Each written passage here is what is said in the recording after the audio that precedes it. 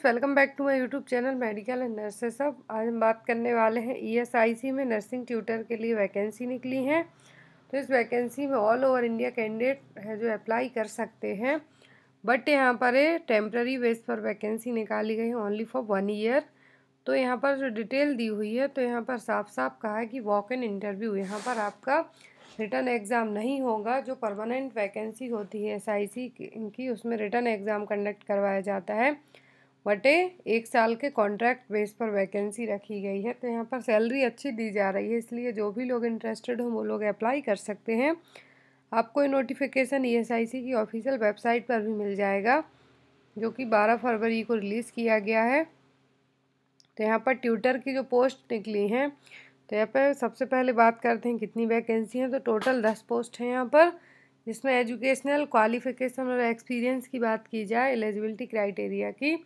तो MSc nursing या फिर BSc nursing post basic BSc nursing with one year experience तो एमएससी नर्सिंग वाले फ्रेशर भी अप्लाई कर सकते हैं और जिन भी लोगों के पास बीएससी या फिर पोस्ट बेसिक बीएससी नर्सिंग है तो उनके पास एटलीस्ट वन ईयर का एक्सपीरियंस मांगा है।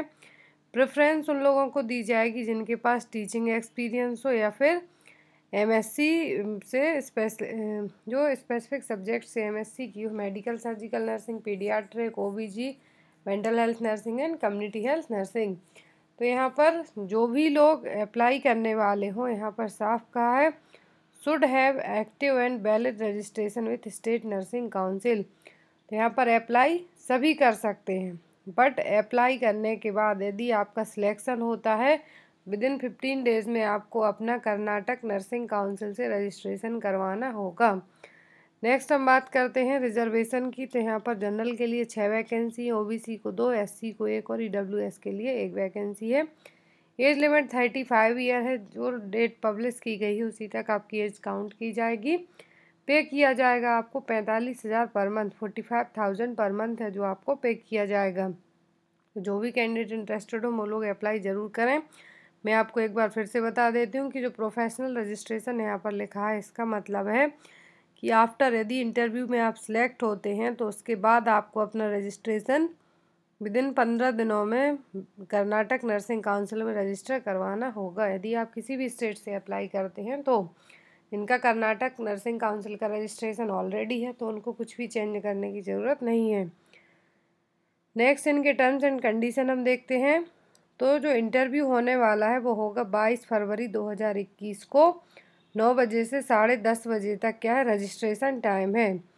तो जो नौ बजे से यहाँ पर साढ़े दस तक का रजिस्ट्रेशन टाइम मतलब आपको पहले से फॉर्म नहीं भेजना है। यहाँ पर फॉर्म का फॉर्मेट दिया हुआ है।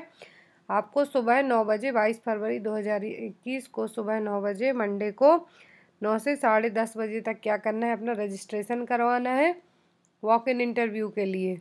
आफ्टर टेन थर्टी आप यदि पहुँचते हैं रजिस्ट्रेशन के लिए तो वो आपका रजिस्ट्रेशन नहीं होगा। इंटरव्यू की टाइमिंग की बात की जाए तो बाईस फरवरी को ही इंटरव्यू होगा सुबह साढ़े दस बजे से लेकर शाम के चार बजे तक।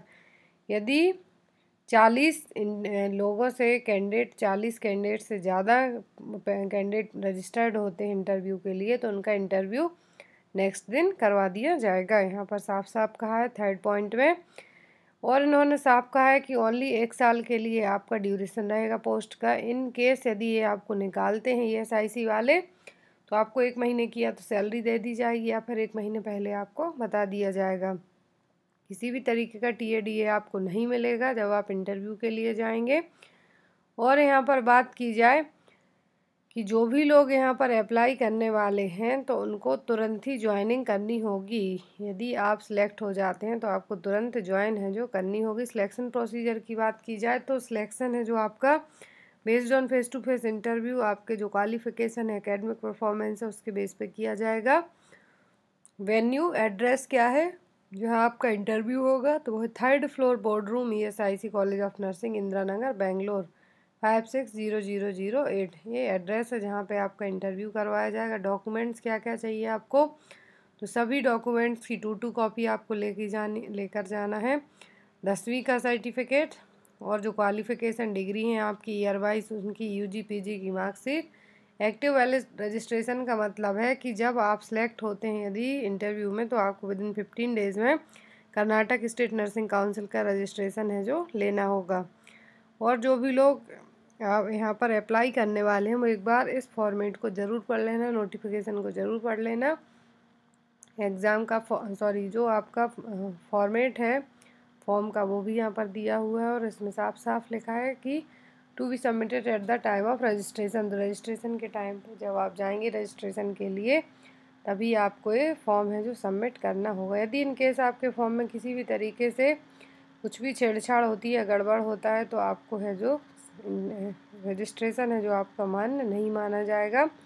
Guys thank you for watching bye bye